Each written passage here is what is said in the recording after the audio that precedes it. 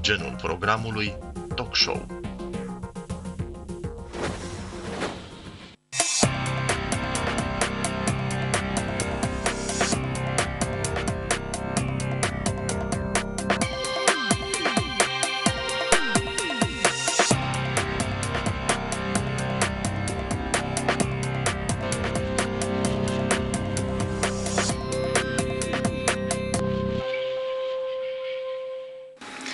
Bună ziua și bine v-am găsit. Vă prezint repede invitații din platou, Volodea Macovei, senior redactor șef de data asta la ziarul Hunedoreanului. Bună ziua, bine ai venit. Bine, Tami. Și Ștefan Ciocan, senior editor la Glasul Hunedoare. Bună ziua, bine Bună ai ziua. venit. Mă bucur că ai ajuns la timp. Am înțeles că ai făcut vreo 20 ceva de minute de la Teglaș Gabor până aici. Da, păi semafoarele inteligente, mult mai inteligente decât uh, toți edilii Devei și lucrările din Deva, frânează foarte mult circulația. Poliție locală cred că nu mai există ca să dirigeze. Și uite așa. ne Poliția locală deplasăm cred cu- că stă aici în capătul străzii uh, să păzească noul sens unic care a apărut uh, de pe o zi pe alta fără niciun fel de avertisment prealabil. Că așa se întâmplă. Ați scris despre asta în glasul Hunedoarei, vorbim și noi despre acest lucru, dar uh, aș vrea să vă uh, supun atenție, că zic așa, ordinea de zi, dragi colegi, imnul județului Hunedoara sau cum să sifonezi bani publici, Deva între Petrică și Mircică, Politica Hunedoreană, o afacere internă a USL, PNL Hunedoara, două capete, restul istorie, PSD Hunedoara, duș de inerție spre victorie, partid mic, caut vedete locale și odă faraonului țevilor cu apă.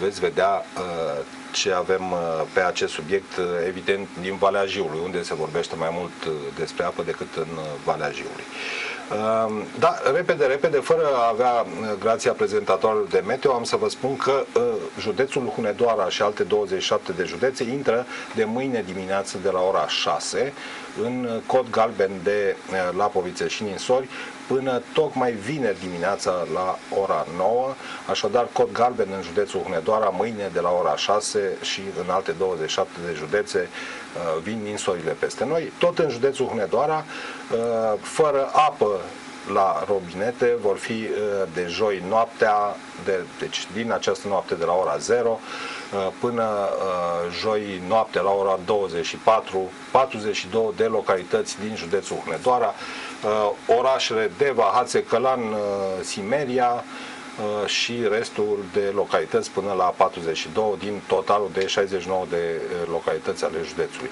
Așadar, fără apă uh, la robinete mâine uh, de la ora 0, deci din noaptea asta de la ora 0, cum ar veni. Uh, județ frumos, așadar, uh, cu trei Uscat. Uh, cu trei situri UNESCO, uh, după cetățile dacice din Munții Orăștie și rezervația uh, biosferei Retezat, uh, Geoparcul dinozaurilor din țara Hațegului a dobândit săptămâna trecută acest statut uh, absolut onorant de, uh, site un- de sit UNESCO. Uh, Vă spun că e un județ frumos și nu doar pentru siturile UNESCO pe care le avem, iată trei puține județe se pot mândri cu acest lucru. Uh, E un județ frumos care ar uh, merita, poate, să aibă, printre altele, și un imn al lui. Uh, S-au gândit uh, mulți uh, din vremea studenției, dacă vă mai aduceți aminte, uh, acel cântecel care nu se mai sfârșea, dura că dura o călătorie cu autobuzul sau cu trenul către muncile agricole, unde erau trimiși uh, studenții. Haideți să vi-l reamintesc, dacă poate nu-l știți. În județul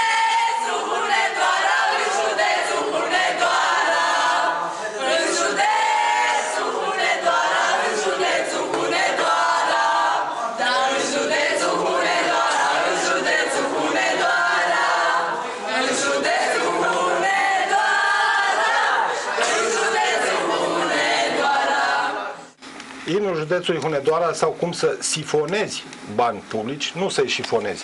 Că nu se șifonează deoarece se bag în buzunar uh, cu grijă, în buzunarele uh, unor prieteni din uh, diverse ONG-uri. Uh, iată uh, titlul de prima pagină din ziarul Hunedoreanului de astăzi. Consiliul uh, Județean finanțează un imn al județului despre care nu se știe mai nimic. Și, uh, Volodea, am să te rog să uh, le spui și telespectatorilor pe scurt despre ce e vorba în uh, acest articol semnat de Marcel Bot în uh, ziarul Hunedoreanu. Da, colegul nostru de la investigații, Marcel Bot, a descoperit uh, surprinzător, deci noi, noi nu am știut despre asta și nici nu aveam de unde să știm, că există un ONG care va primi o sumă considerabilă pentru a crea un imn al județului Hunedoara. Marea problemă este că toți consilierii care au fost întrebați de colegul meu Marcel Bot, sunați și întrebați dacă știu ceva despre asta, au spus că habar nu au că au votat așa ceva. Problema este că există o explicație. De ce nu știu ei că au votat așa ceva? Pentru că atunci când se face repartizarea celor bani către ONG-uri, este vorba de finanțările acelea nerambursabile pentru diferite proiecte, atunci când apare proiectul, sc- se scrie numele ONG-ului și suma. Pe altă filă, unde apar uh, proiectele respinse, acolo scrie numele ONG-ului, descrierea proiectului care a fost respins și suma pe care a cerut-o. Așadar, consilierii județeni nu aveau de unde să știe că în spatele unui ONG pus acolo se află, de fapt, viitorul imn al județului Hunedoara. Și nu erau curioși totuși să afle uh, pentru ce se duc uh, 5.000 de lei către ONG-ul, uh, cum se cheamă, Asociația uh, Civică Solidaritate. Civică Solidaritatea Hunedoara, a domnului Marin Mititelu.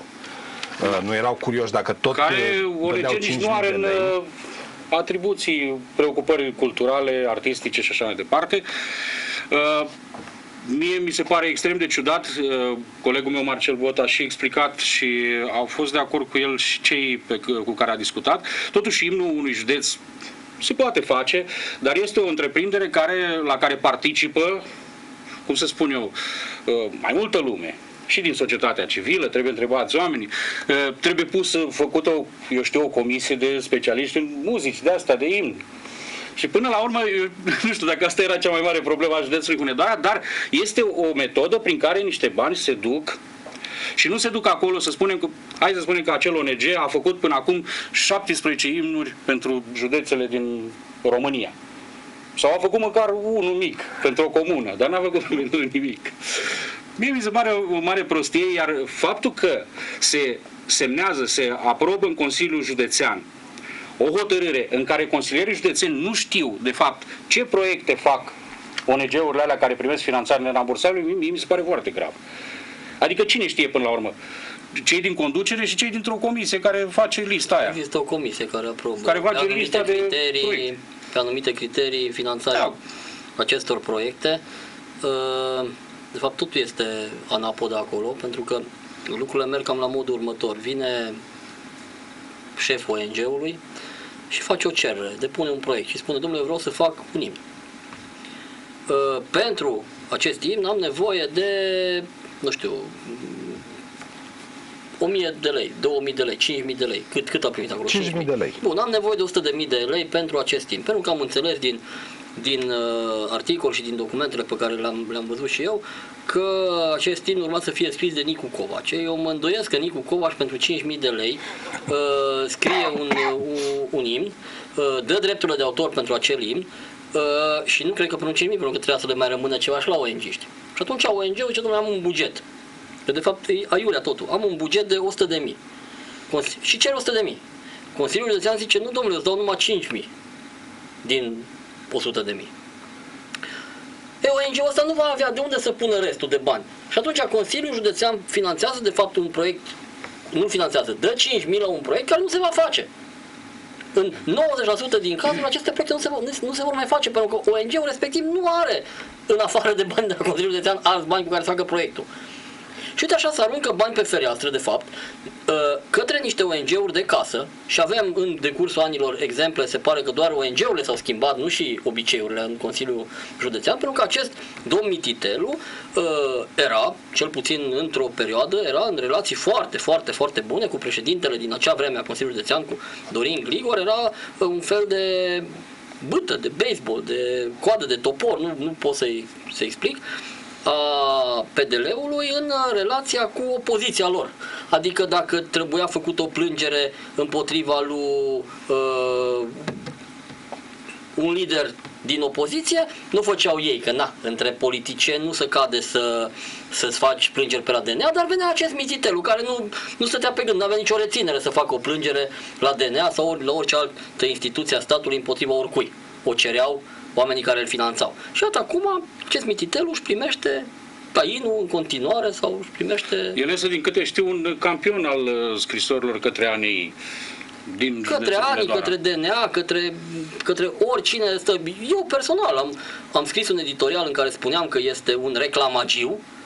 Am demonstrat că are nu știu câte procese deschise împotriva sindicatelor, a primarilor, a președintelui Consiliului Județean. Deci omul are, e, e mai cunoscut, cred că, la tribunal decât acasă. Și cu toate astea am pierdut procesul. Că l-am făcut reclamagiu. Uh, am avut o discuție cu cineva din instanță, lasă-mă domnule, ce să ne facă și nouă plângere la ani, lasă, dă tu acolo nu știu cât, mi-a dat să-i dau bani de reparații morale și că după aia ne face nouă la ani uh, reclamații, ce mi se nu pare- la, la uh, CSM. Ce mi se pare interesant că pe lângă această a, evident abureală uh, cu imnul uh, județului Hunedoara uh, făcut de un ONG a domnului Mititelu, uh, mi se pare foarte ciudat faptul că au uh, uh, votat uh, consilierii locali fără să clipească uh, 5.000 de lei pentru un imn al județului făcut de acest ONG, fără să întrebe măcar care este proiectul uh, ONG-ului, că s-ar fi putut să fie, nu știu, să decoreze cu uh, floricele statuia lui Decebal. Da, Uh, Putea să facă Aline, orice. Volodă, eu vă întreb altceva. Care ar fi fost reacția opiniei publice din România dacă uh, acești bani s-ar fi dat pentru uh, imnul Covasnei sau imnul Harghitei? Sau imnul Ținutului Secuiesc? Adică uh, facem imnuri, nu știu dacă e ok, dacă e legal să facem imnuri sau alte însemne uh, steagul județului Hunedoara. Pe atâta timp cât steagul ținutului secuiesc, există hotărâre judecătorească, n-ai voie să-l arborezi pe, pe uh, instituții publice, imnul ca și steagul este până la urmă Păi, un, însemnele județului un- un- și bănuiesc că și imnul se pretează la un însemn de genul ăsta, însemnele județului sunt aprobate prin hotărâre de guvern. Exact. Orice fel de stemă de aia, dacă se modifică ceva, îi se schimb câtul la corbul ăla care prinde ceva acolo, Da, îi trebuie pui să... ghiul în loc de verighetă Da, sau... Și se face o hotărâre de guvern cu dezbatere, dar problema este alta. Eu nu am văzut, cel, cel puțin nu mi-amintesc, nu știu dacă voi, uh, voi vă amintiți de asta, eu nu am văzut niciodată, nici la Consiliul Local, nici la Consiliul Județean, un raport despre, proie- deci, despre cum s-au executat proiectele pentru care s-a dat finanțare nerambursabilă. Păi dacă nici nu știu niciodată. proiectele... Păi pentru că nu se prea execută, pentru că, încă o dată, Eu am senzația că foarte Nu mulți există bani de ei se finalitate. duc, dar nu se face nimic cu ei. Absolut, nu există o finalitate a proiectelor. Pentru că fel nu de le, șpagă ajung pentru banii, ONG-uri. nu le ajung banii să termine proiectele. Și atunci iau cât pot să ia- ia de la Consiliul Județean și mi domnule, n-am terminat proiectul. Am, uite, banii, banii pe care i-am luat de la tine i-am cheltuit. Că nu e greu să duci bonuri și ce, ce vrei tu să mai duci acolo, uite, așa i-am cheltuit și restul pe finalitatea proiectului pe n-am reușit să o termin, că n-am mai avut alți bani. De... A, asta spuneam la început. Dar deranjant și din discuțiile mele cu, cu uh, Marcel Bot, cu colegul nostru, Uh, este altceva. De unde a pornit materialul? Uh, Materialul a pornit de la faptul că acest mititelu pentru ONG-ul lui de uh, care nu știu ce face în afară de zarbă, uh, a primit bani. Uh, În schimb, Fundația Sfântul Francisc, care hrănește câțiva zeci de oameni, de, de copii în fiecare zi și are instituționalizați câteva a sute de crescut copii generații și a deja, crescut generații de generații de copii, copii n-a crescuți. primit niciun leu de la Consiliul Județean. Aici e marea Da, problemă. da. Și de aici a pornit, de fapt, uh, articolul și am zis, hai mă, să vedem uh, unde se duc banii ăștia, ce se întâmplă cu banii ăștia dacă, dacă uh, Fundația Sfântul Francisc n-are loc acolo. Păi înseamnă că ăștia Care avea n-au fost să toate fie- motivele. Care avea toate motivele să fie finanțat de Să fie Consiliul Județean. finanțată, da. Așa este. Uh, Iată și punctul de vedere al uh, domnului uh, Dorin Gligor, uh, președintele Consiliului Județean la acea oră, uh, în momentul în care au fost aprobați acești bani pentru uh, ONG-ul domnului Mititelu, uh, consemnat uh, Și poziția care, în mod sigur, domnului era unul Gligor. dintre, dintre cei care știau conținutul proiectului. Spre deosebire de consilieri. Categoric, da. Evident, dacă era inițiator, măcar inițiatorul se presupune că ar fi știut uh, totuși despre ce e Și să vorba. fim serios, dar în comisia aia care au stabilit, uh, erau oameni uh, în afara voinței lui Gligor. Uh, Deci, punctul de vedere al domnului Gligor, consemnat în articolul uh, colegului nostru Marcel Bot, uh, spune așa domnul Dorin Gligor, uh, în calitate, cel care a inițiat proiectul în calitate de președinte interimar, a avut nevoie de mai multe detalii până să-și aducă aminte de finanțarea imnului. Și zice domnul Gligor, nu știu acum dacă s-a făcut, uh, s-a plătit categoric, categoric, un imn înseamnă ceva reprezentativ. Eu nu pot să spun că știu în amănunt fiecare proiect depus de ONG-urile respective, mai ales că în urmă cu 2 ani a fost un scandal foarte mare cu nu știu câte ONG-uri făcute peste noapte ca să-și însușească banii publici. Aici e evident uh, uh, răspunzi cu o acuzație. Adică, uh, domnule, nu sunt eu singurul care da, fac, de asta exact. s-a mai făcut. Exact Adică se poartă. cu, cu o acuzație care uh, e reală și aia că am scris și a scris Categoric. despre, despre lucrurile astea. Uh, Dar uh, uh, zice domnul Grigor în continuare, acum eu n-am avut implicare decât prin ceea ce spune legea punct cu punct la capitolul respective. Nu-mi dau seama dacă ar fi trebuit făcut un plebiscit. Cred că e prea mult lucrul acesta. Numele de Nicu Covaci vehiculat în toată treaba asta nu mi se pare o proastă carte de vizite, de părere Grigor. Cred că Nicu Covaci Ei nu nu a știe. auzit și nu va auzi Sigur, veac nu pururi știe, da. de fundația uh, ONG-ul uh, condus Dați că de există Marian și un, se Nichită. pregătește și un imn al Hunedoarei care, dacă, din câte știu, acolo l-a ieșit Costă mai mult. E și dat uh, cu Da, am înțeles că Îți dați banii. totuși ăla e imnul castelului. imnul ca sau imnul castelului, da. Așa, a, vine cu precizări și domnul Adrian David, președintele în exercițiu al Consiliului Județean Hunedoara, care spune că însă și ideea de imn al județului se pare o chestiune aventuroasă. Eu nu am fost de acord de la început, adică era consilier județean simplu pe vremea aceea, nici nu am auzit până acum de vreun imn al județului care să fie făcut de un ONG. Dacă ei vor să facă un cântec și să-i spune imnul județului, n-au decât. Dar nu e o chestiune oficială, e o problemă privată.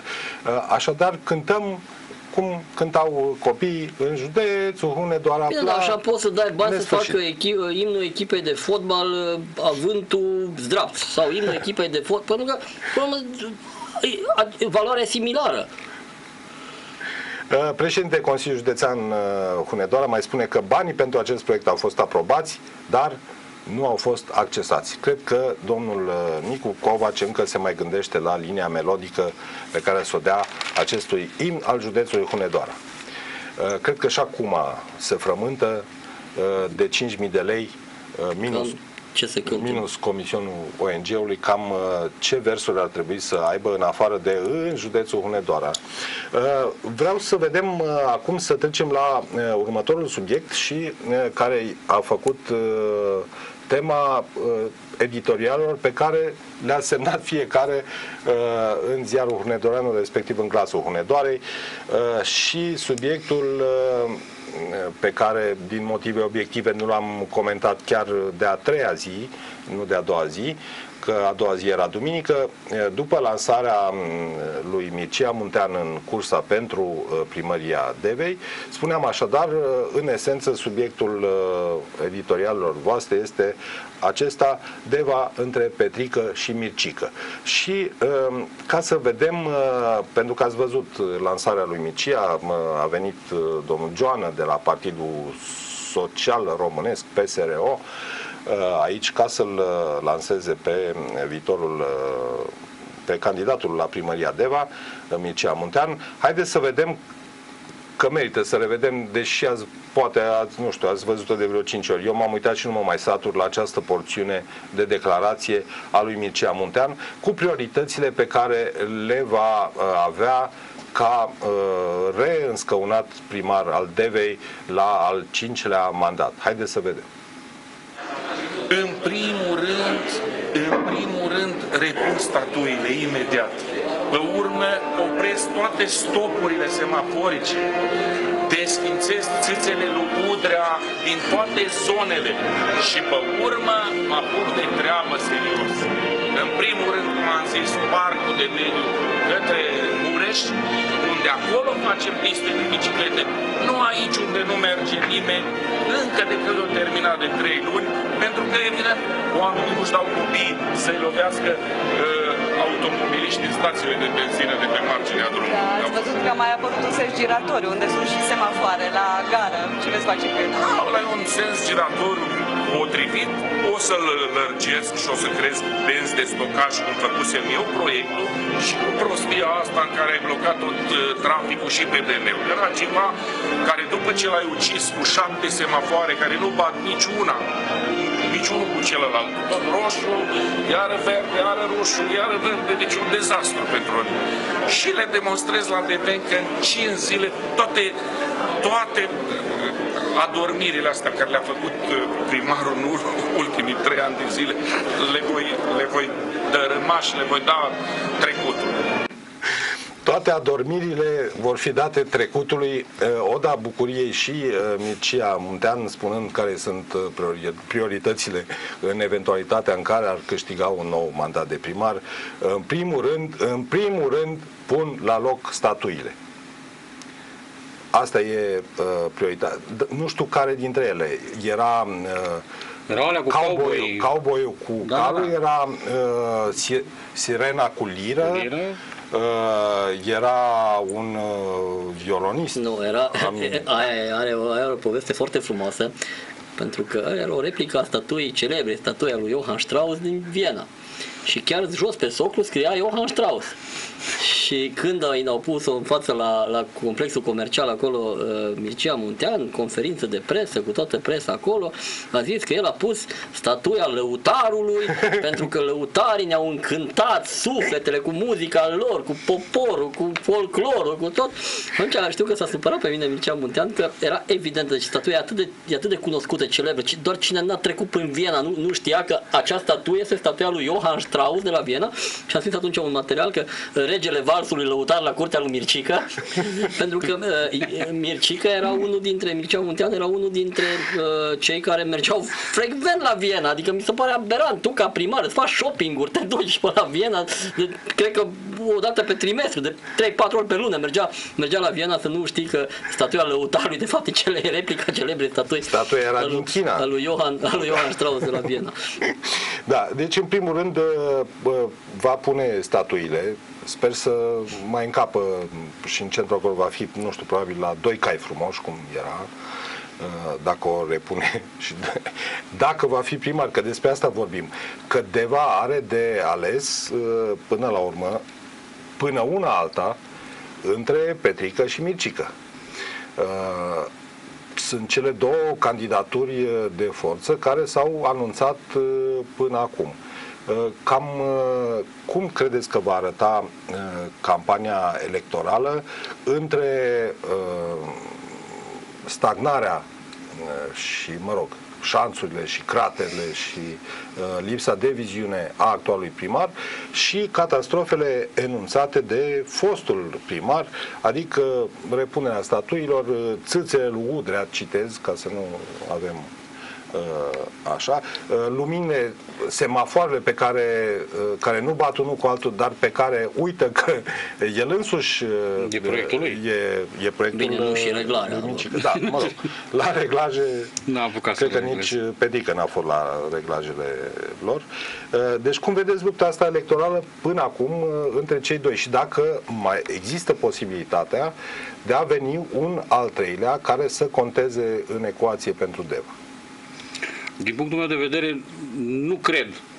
În timpul scurt care a rămas până la alegerile locale, dacă nu se întâmplă ceva și vin mai aproape de noi, dar cred că nu o să se întâmple, în timpul scurt pe care, de de fapt, jumătate de an luată pe fugă, nu cred că o să apară un personaj care să aibă o influență atât de mare asupra unui electorat uh, relativ conservator nu vine de la partidul respectiv, ci ca atitudine.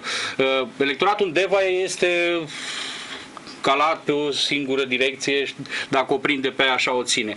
Și aici, de fapt, există cele două tabere. Există tabăra lui Mircea, cât e el așa de uh, special, de hilar în unele declarații și de expansiv, el are susținătorii lui, care i-au rămas susținători uh, chiar și pe perioada mandatului lui Petru Mărginean. La fel, Petru Mărginean, el are și el susținătorii lui mai puțin decât Mircea din punctul meu Dar de are vedere. avantajul că la alegerea are primarilor partid. dintr-un singur tur uh, va pleca ev- evident din pole position, adică din postura de primar. Da, da, ideea este că Cioloș a spus că ar face o, o mică mișcare să fie totuși două tururi, dar nu cred că mai are el când.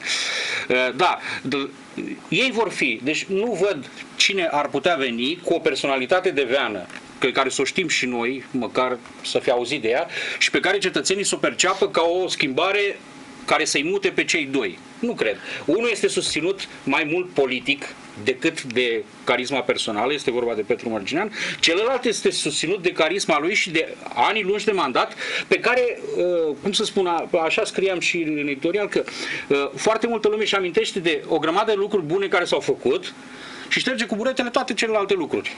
Inclusiv comportamentul lui, inclusiv, cum am- i-am și spus eu, prostituare politică, să treci pe la 5 partide, doar, doar să rămâi undeva. Și după aceea să vii cu Mă rog, pretenția, eu sunt curat și vreau să prostituarea, fiu știi cum e cu prostituarea asta politică, că am mai auzit și teoria. Domne, greșești odată, uh, ai trecut de la un partid la altul, nu ești traseist. Uh, păi, scuzați nu poți să fii un pic uh, virgin, da? Da. Adică, odată ce ai făcut-o, ai făcut-o. Chiar nu mai contează că ai uh, schimbat două, cinci sau nouă partide până la urmă. urmă. Da, Mai dar, e- acum să fim serioși. Deci dacă iei tot spectrul Da, poți politic să, în poți să câțiva spui ani, eventual un traseist înrăit ca să-l deosebești de un traseist Până acum nu știu în ce uh, măsură, moderat. nu știu în ce măsură, în momentul în care mă duc la vot, mă interesează că primarul pe care vreau eu să-l aleg din considerente pur administrative a trecut pe la 5 partide, pe la 1 sau pe la niciunul, pentru că poți să ai un primar uh, uh, consecvent, uh, înscris într-un partid, n-a fost la niciunul, dar idiot și tot nu ai ce face cu el. Pe când poți să ai un primar care din diverse motive, unele, unele care să știi că Acum, ies din context, nu vorbesc de cei doi, dar sunt foarte mulți primari, mai ales prin comune, care efectiv trec, trec pe la mai multe partide ca să-și facă lucrurile la ei în comună, pentru că, așa cum foarte bine Da, știți, asta- nu asta te este ajută total, nimeni. uh, Nu te ajută. absolut. Și atunci ce fac? Îl cataloghezi ca fiind traseist doar pentru că uh, a schimbat partidele să-și obțină fonduri, să obțină bani de investiții și mai departe. Deci chiar nu mă interesează apartența politică a primarului dacă, dacă acel primar este un bun administrator, este un gospodar și își face treaba. În ceea ce îi privește pe cei doi, uh, da, uite, ne aducem aminte din armată, da? Ei, cu cât trece mai mult timpul de când am făcut armata, ne aducem aminte ce frumos a fost, că am avut un coleg care... Nu ne mai aducem aminte exercițiile, marșurile. Ei, așa se întâmplă și cu, cu, cu Mircea Muntean. Lumea uită lucrurile rele și așa suntem setați ca oameni să uităm lucrurile rele. Și atunci ce rămâne după el? Rămâne uh, uh, Aqualand-ul, rămâne liftul de pe cetate, rămân uh, Piața. uh, piața, Piața piața, e- o realizare extraordinară, da. Piața, uh, rămâne fântâna de la fântâna de la Cal pe care actualul primar și-a construit campania electorală cu ce mare porcărie e fântâna de la Cal și acum toți merg acolo și e, e singura zonă vie care a mai rămas în centrul Devei, fântâna de la Cal. În în rest, centrul Devei, dacă ieșiți și vă uitați, este, este mort, este terminat. Pentru că uh, totul s-a mutat în, la periferie, s-a mutat în, la complexul comercial, toată viața Devei. Ei, singurul, singura zonă vie în Deva mai este zona aceea, calului cu fântâna. Ei, astea rămân. Și atunci lumea zice, ce zice? Păi bă, avem de ales între, uite, lucrurile bune pe care le-a făcut Mircea, un personaj simpatic, pentru că cu toate prostioarele astea pe care le-a spus, le-a spus simpatic, am râs, am râs. Și avem de ales între un primar care a dat peste cap totul în Deva, un primar care n-a venit cu niciun proiect extraordinar, uh, un primar care a făcut locuri de joacă mult supraevaluate, acum vrea să facă terenuri de sport de 4-5 ori decât uh, prețul normal și un primar care în primul rând dă dovadă de o aroganță pe care cred că nu există un primar în țara asta să o aibă. Să auzim uh, și opinia telespectatorilor despre subiecte pe care le discutăm noi aici. Bună ziua! Alo, bună ziua, domnilor jurnaliști. Să rămână, doamnă. Apropo de traseismul politic, să nu uităm că Mircea Munteanu uh, a fost foarte mulți ani un răit penelist, dar cu foarte uh, multă uh, luptă prin spatele lui a fost scos afară din partid. Parcă nu l-aș fi numit eu atunci așa un traseism în comparație cu doamna care a fost invitata dumneavoastră. Aveți ce aveți cu doamna. Nu am, nu am, nu am, dar, dar nu, chiar nu am nimic cu nimeni. Uh, Uh, Ce voiam să vă mai spun legat de acest domn Mircea, pe care, sincer, recunosc că îl așteptăm, uh, era legat, uh, spusese domnul Ciocan de fântână că și-a făcut dumnealui uh, campania electorală. Uh, amintiți-vă cât de urât a vorbit de Mircea Muntean pentru panseluțele pe care a, rid- uh, a aruncat el atâția bani și pe uh, scorbura aia de copac uh, de pe, și de piatra aia de prin uh, scoaruri. Ei, ia uitați-vă că e împăijenit orașul, domnule, de, pa- domnilor, de panseluțe. Ei, acum se pot pune iarna. La Mircea nu se puteau. Nu-i corect. Trebuie să fim fair play, domnule, în politică, ca să ne poată alege uh, oamenii din Urdea unde candidăm. Vă mulțumesc, o zi bună! Vă mulțumesc și eu și într-adevăr cred că uh, foarte foarte puțin. Noi discutăm aici despre lucrurile uh, pe care le știm că ne ocupăm de ele. Însă în percepția publică eu cred că și acum uh, Mircea Muntean egal PNL. Uh, în uh, conștientul colectiv uh, a rămas ca liberalul Mircea Muntean. Ai scris tu că fiecare la scara lui. Exact, fiecare la Păi- scara lui să se ducă să... Asta e una. Doi la mână, apropo de această, uh, acest uh, traseism uh, vrut sau impus, uh, va fi foarte curios în campania electorală și amuzant de asemenea cum uh, domnul Dorin Gligor, că tot vorbeam despre dânsul, copreședinte al PNL, îl va susține pe candidatul PNL uh, Petru Mărginean la primăria Deva și îl va combate cu toate armele pe candidatul PSRO la primăria Deva, Mircea Muntean, căruia i-a fost alături și erau de mână în campania electorală trecută și vă reamintesc, tot în campania electorală trecută, uh, domnul Gligor Dorin se bătea cu domnul Petrică uh, Mărginean uh, pentru același loc de primar al Devei. Uh, Va fi amuzant cum uh, îl va susține domnul Gligor în această campanie uh, pe Petru Mărginean. Există un lucru care vreau să spun și care l-am văzut la colegul Ștefan Ciocan. O observație foarte bună care o făcea zilele trecute, cred, că Mircea Muntean a pierdut un procent important din ce ar fi obținut în 2016 la alegeri, pentru că nu s-a, n-a intrat în campania asta independent. Da, și eu sunt da, de acord corect, cu asta. Corect, a fost absolut observația corect. cea mai bună. Absolut El corect. dacă intra independent avea șanse mult, mult mai mari. El vine cu ce, de fapt? Vine cu un partiduț care aproape nu există, că dacă întrebi pe stradă nici nu știu oamenii că există, că e abia făcut și nu încă n-a ajuns pe, pe stradă. Și cu ce să-i facă? Nu știu la ce s-a gândit, cu ce să-l ajute. ideea era, dar mi se pare o idee fundamental greșită, să tragă după el câțiva consilieri, astfel încât să aibă un suport în Consiliul Local, pentru că altfel s-ar fi trezit chipurile uh, primar uh, independent cu un consiliu cu care trebuia să Alita, facă o ce- majoritate. ce să tragă el? E o prostie. ultima, n-are- ultima, n-are ultima ce variantă, trage. când și-a dat și el seama că asta e o prostie și că acolo mai mult de doi consilieri n-are cum să bage cu care ori că ai, ori că nu ai, nu faci nimic. Uh, Ultima variantă, ultima scuză, ca să zicem așa, e că are nevoie de oameni în secția de votare, în secțiile de votare și ca uh, în calitate de ca- candidat independent nu putea să își trimită reprezentanți în secție de votare și atunci are nevoie de un partid ca să aibă reprezentanți în secție de votare, că acolo se fură voturi. putea să fie să meargă foarte bine pe formula independent susținut de un partid, dar cred că uh, nu acolo va fi uh, marele furt în secție de votare, cred, nu știu. sper. Sigur, de părere asta. Dar, uh, în schimb, s-ar putea să avem uh, dubluri la fiecare candidat, uh, ca să zic așa, adică să mai candideze și un Mircea Muntean, Și un Petru Mărginean. și un uh, Petrică Mărginean.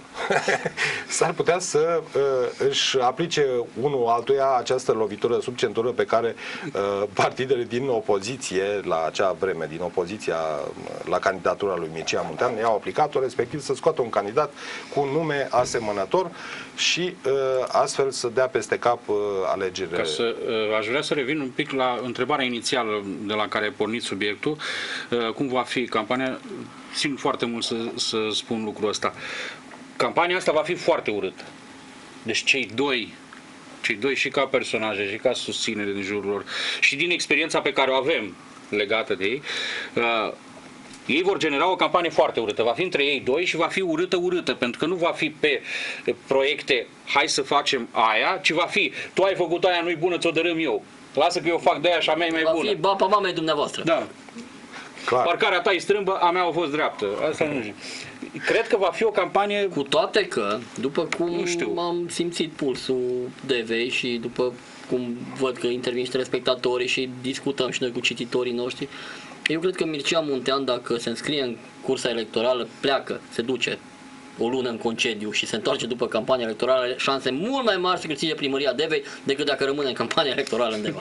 Da, oricum, cred că va fi o campanie electorală cu poalele în cap. uh, Da. Ceva de genul ăsta. Ah, Bun, stai că de, deja lucrurile trebuie să înceapă, pentru că bă, deja avem, avem candidat, Spectacolul- avem, avem ținta, avem ținta și mă aștept deja, spectacolul începe din ianuarie, nu e... mă aștept deja ținta să fie bă, luată la ochi.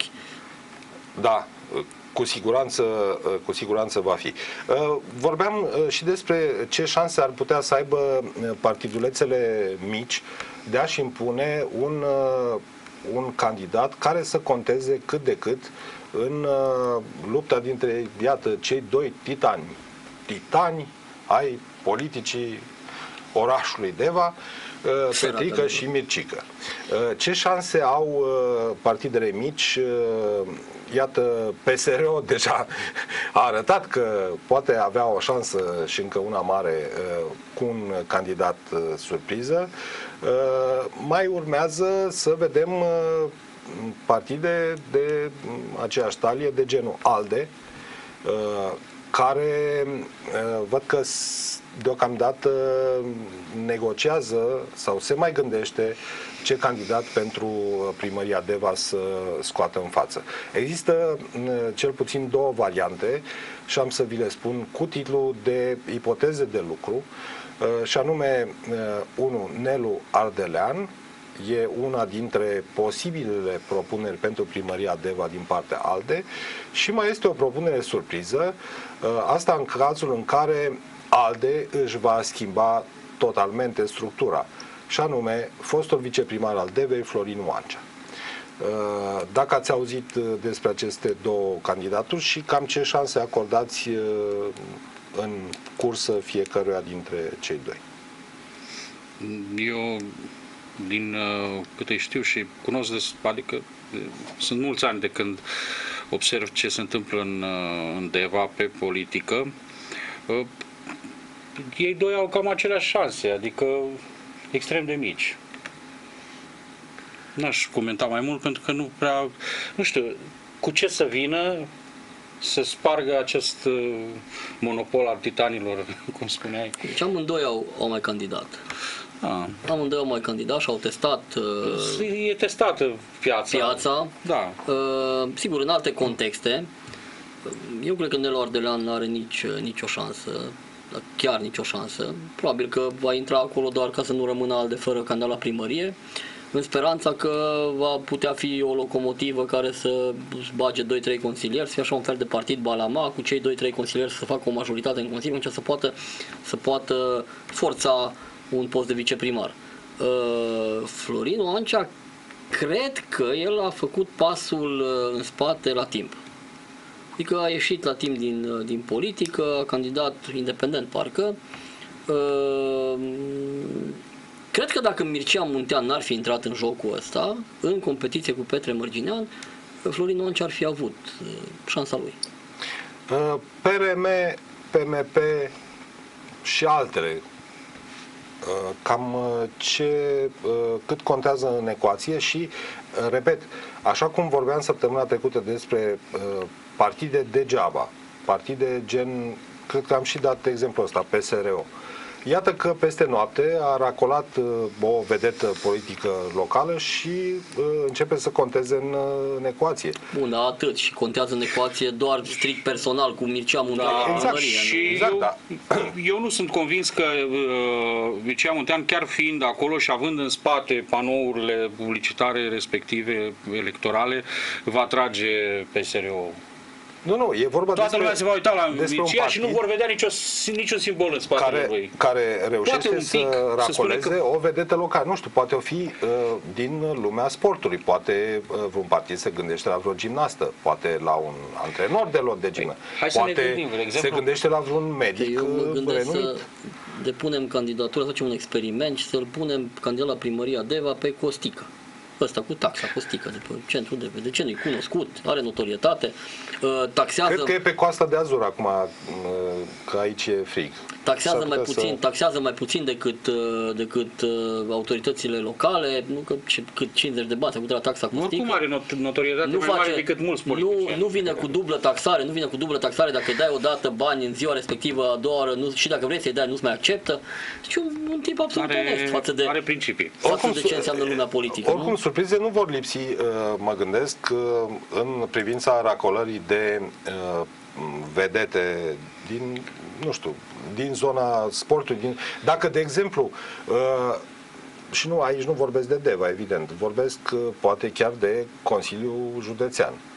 Uh, Nicolae Guță, zic și eu, dacă ar uh, candida uh, ca primul pe lista de consilieri de la un partid, uh, nu știu, de a România Mare, dăm un exemplu, uh, poate ar strânge suficient de multe voturi, uh, mai ales din Valea Jiului, unde notorietatea lui uh, este maximă. Am înțeles că și uh, fica lui, uh, Guță Nicoleta sau ceva de genul, are o emisiune de televiziune la un post uh, de televiziune din județul Hunedoara. Se mai bat de două ori și câștigă alegerile locale. Deci, da, adică uh, Nicolae Guță și cu Nicoleta Guță, dacă vor candida în capul listei la vreun partid, oricare ar fi el, pentru Consiliul Județean poate, nu vă gândiți că nu și-ar uh, atrage suficienți adepți încât să prindă un loc în și Consiliul a, ar Județean. face și imnul gratis.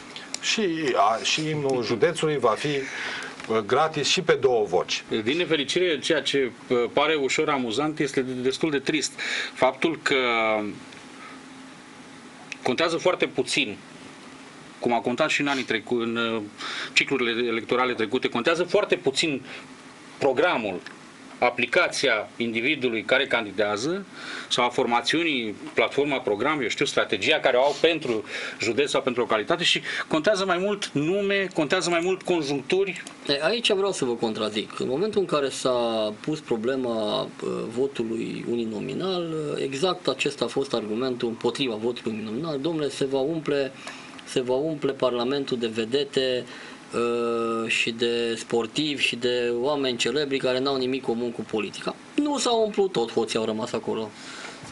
Deci să nu, să nu credeți că... Da, da, e de luat, e de luat în calcul și m, poate cineva va veni și cu această idee uh, extraordinară pe care iată am pus-o în... uh, Și nu cred că, nu cred că Gratuit totuși electoratul nu dezbatere. cred că se va duce înspre guță sau înspre alți uh, uh, oameni de, de felul acesta, pentru că în general oamenii îi văd pe cântăreți acolo unde sunt, nu, nu, Sau- nu, nu confunde lucrurile. Sau poate uh, către scriitori, nu neapărat către uh, cântăreți, către scriitori uh, din județul Hunedoara. Iată, a apărut uh, vineri, vineri a apărut un scriitor, uh, un scriitor în Valea Jiului, că tot vorbeam de Valea Jiului, uh, care a, ce să facă scriitorul? A scris o carte, Vremea apeductului se cheamă cartea, file din istoria producției și exploatării apei în Valea Jiului. Uh, Iată și uh, câte ceva de la ceea ce s-a întâmplat vineri după amiază uh, și citez uh, dintr-un uh, ziar din Valea Jiului. Vineri după amiază a fost sărbătoare în familia operatorului de apă din Valea Jiului, Apa Serv, Valea Jiului SA. Angajații care lucrează de 20 de ani la această societate au primit diplome, dar și o carte. O carte document a scriitorului și jurnalistului Marian Boboc, Vremea apeductului, file din istoria producției și exploatării în Valea Jiului. Uh, E evident uh, o manifestare inițiată și finanțată uh, de către uh, domnul Costel Avram, director general la Apa Serv Valea Jiului, uh, cel acuzat că, mă rog, a scumpit uh, apa de nu se mai poate în Valea Jiului, dar iată că sunt uh, uh, bani uh, suficienți și pentru scriitori, și pentru ode, și pentru manifestări foarte frumoase, simpozioane dedicate a 20 de ani de când pe țava din Valea Jiului curge apă rece. Și la telefon domnul Adrian Zvâncă, dumnealui este consilier județean și specialist în uh, apa serv și în Costel Avram, cred că. Bună ziua, domnule Zvâncă! Uh, nu vă plătiți factura la apă, de ce n-ați fost invitat și dumneavoastră acolo? Că până la urmă sunteți unul dintre uh, plătitorii, mă gândesc, de apă din Valea Jiului și fiind și consilier județean, nu ați fi putut să ratați o astfel de uh, manifestare extraordinar de frumoasă, mi se pare mie, în care se lansează și o carte, Vremea apeductului, mi se pare un eveniment atât cultural cât și social-economic, să-i spun. Uh, Da, un eveniment în sine, a fost un pic cam greu să, să fie toți cei care plătesc facturile la apa invitați, pentru că sunt cam 40.000 de abonați și ar trebui să vină pe stadion domnul Costel Avram. Nu cred că n-am fi fost încântat, dar s-ar fi putut uh, evenimentul să se sfârșească cu fluiduiel sau chiar cu o mică revoltă. Da, iată, avem uh, din nou pe ecran uh, imagini de acolo. Uh, Ați uh, reușit să intrați măcar în posesia cărții, dacă nu, vremea peductului, mă gândesc că e de acțiune, e o, o carte care te ține cu sufletul la gură, practic n-ai putea să o mai lași din mână. Uh, Bine, cartea e scrisă de domnul Bobov, pe care îl știm, știm că lui are, mă rog, e un pic mai... Se vede stilul de jurnalist al lui, nu este E scrisă cu nerv, așa. Da, un document mai mult. Ce să spun, nu, nu zic că e rău venit o carte de genul ăsta sau orice carte e binevenită. Mai ales Cred când că are mai important- finanțare. Da, mai important e cum e finanțată. Pentru că dacă domnul Costel Avram a făcut lui un efort să financeze cartea sau a fost finanțată din celebra uh, Asociație Rosa Multiflora, merită toate laudele noastre, nu? Dar dacă totuși cartea e finanțată din banii Apaserv, e un pic cam, uh, cam problematic să zic așa. Păi măcar să știți uh, m, că banii pe care îi plătiți în plus pe apă nu s-au dus pe apa sâmbete, au rămas în istoria mă, literaturii m, române, vremea apeductului, fire din istoria produ- producției și exploatării apei în Valea Jiului, mi se pare chiar un, uh, un gest uh, frumos și cu care rămâi în istorie, într-adevăr, uh, mai ales că e, cum să spun, au participat și oameni importanți acolo, prim, primarul Tiberiu Iacobriții, primarul Gheorghe Ile, uh, multă presă, m- mulți uh, angajați de la Apa Serv, adică a fost uh, frumos, cred, din câte văd în imagini. Uh, Acum, important e, cum să vă spun, uh, ce se întâmplă cu acești bani, înțelegeți? Că eu, am- eu am tras uh, niște semnale de alarmă. Sper să fie auzit destul de bine. Aș vrea să vă spun două cifre pe care să le țineți minte și dumneavoastră. 262% este procentul cu care a fost majorat prețul la apă în ultimii 5 ani. Deci asta arată un management de succes, cum se poate face în România, așa pot ajunge cel mai bun manager, majorând prețul de trei ori. Al doilea, sau mă rog, a doua cifră pe care vreau să vă, așa să vă supun memoriei, este cifra de 2 milioane de euro.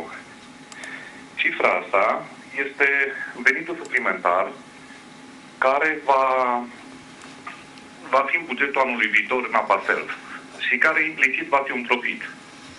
Deci trebuie să vedeți că locuitorii din Valea Jiului vor plăti 2 milioane de euro pe care eu aștept ca în proiecția bugetară viitoare acești bani să-i văd ca și profit. Pentru că nu aș dori ca aceste sume suplimentare să fie să, să, se, să se ducă pe apeduct, așa ca să zic, știți? Aș prefera să văd că se întâmplă ceva, se, se fac ceva lucruri serioase cu acești bani. Păi, unul dintre lucrurile serioase uh, ar fi uh, finanțarea unor uh, cărți, așadar, uh, stimați locuitori ai Văii Jiului, care beneficiați, beneficiați de serviciile APA Serv, uh, la pixuri să spun așa, la pixuri adunarea și scrieți băieți, nu mai scrieți. Mulțumesc mult uh, domnule Adrian Zvâncă uh, pentru uh, uh, că ați Care era intrat. titlul cărții, până la urmă? Uh, titlul cărții, titlul cărții este absolut senzațional. Vremea apeductului și subtitlul File din istoria producției și exploatării apei în Valea Jiului. Și câți ani? 20 de ani de apă sau ce era? Da. Adică ăștia în Valea Jiului n-au Este- apă decât din 1900... Este anul în care aniversăm împlinirea 20 de ani de a înființare a firmei de apă din Valea Jiului. A, și până acum cărau cu găleata până în uh, 1900 cât? 90... Domne, Cinci. așa spune Până în domnul... 1995, în Valea Jiului căreau apa cu găleata, minerii sau... Nu, mie mi se pare aberant, adică stă mintea în loc. Să faci o, să faci o carte despre istoria apei în ultimii 20 de ani. Carte există, dacă uh, vreți uh, să o procurați, eventual... Uh, Păi nu, dar știu, sunt SRL-uri cum să mai vă vechi de îndrum. 20 de ani în Hunedoara. Ce să sărbătorești? Că, nu, nu înțeleg. E important că s-a sărbătorit, cartea există uh, și dacă mm, domnul Adrian Zvâncă, și nu mă îndoiesc că datele dumnealui sunt exacte, se preconizează un profit de 2 milioane de euro uh, anul uh, viitor pentru această firmă, Da. bani din care vor fi probabil uh, subvenționate și alte lucrări. Nu, dacă i-a uh, făcut, uh, i-a făcut monument lui uh, Sadoveanu sau cui zice că i-a Da. făcut bustul în comuna natală, poate îi facem Petroșani uh, bustul lui domnul Boboc sau cum îl cheamă pe Domnul colegul Boboc. vostru ăsta care a Cred că scris mai cartea. degrabă domnul Boboc îi va face bustul domnului Costel Avram uh, dintr-o sau îl va pomeni într-o altă carte, poate cu mult mai multă acțiune decât Vremea apeductului, fire din istoria producției și exploatării apei în Valea Jiului. Uh, Mulțumesc mult pentru participare la emisiune. Mâine o să avem uh, o ediție foarte interesantă, veți vedea, uh, căci uh, va fi plin de politicieni, cred că nu în direct, dar va fi plin de politicieni, așa cum n-ați mai văzut niciodată uh, la această emisiune. Uh, vă doresc toate cele bune până mâine la ora 16.